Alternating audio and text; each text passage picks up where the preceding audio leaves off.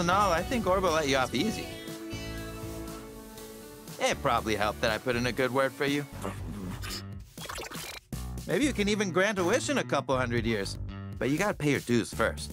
Only people who never pay their dues say that. Hey, Scarab, why don't you take five? I'll show you how to use my character creation program. So I like to start with an overall theme. How about true heroes? No. Put in dark medieval mystery drama. Wow, okay.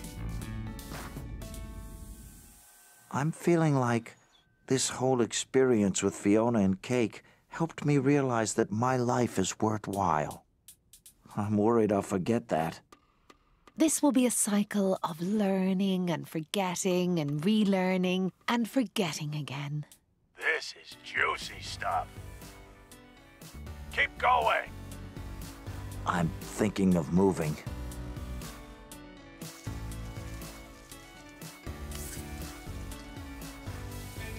Ah, just a normal world.